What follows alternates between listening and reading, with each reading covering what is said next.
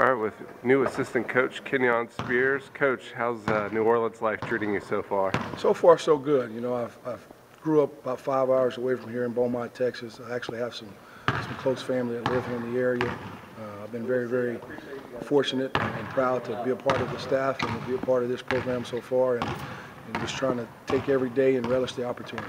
All right, we're a few weeks into practice. How are, how are things going? How's the, the team developing thus far? Team is working hard. They come in every day with a chip on their shoulder. You know, they bring a lot of energy and enthusiasm uh, in, in every drill. We're excited about the energy and effort they, they produce so far. Every day we got to try to get better each opportunity and each drill that we do, and we couldn't be more happy for with the things that we've been accomplished so far.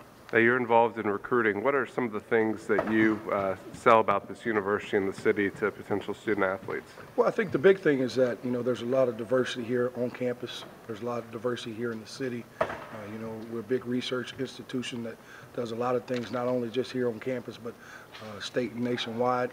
And also, uh, you know, our HRT program, the business program.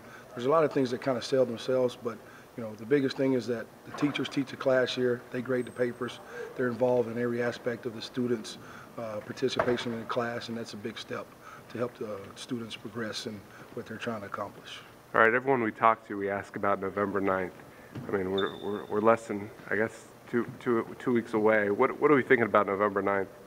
I think it's a big, big step for us, you know, going back to Division One.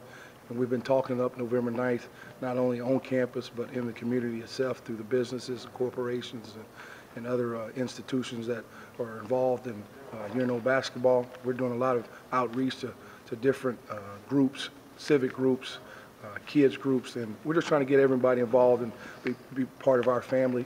Uh, and November 9th is the first step to hopefully growing this thing into a big success. All right, thanks, Coach. Thank you.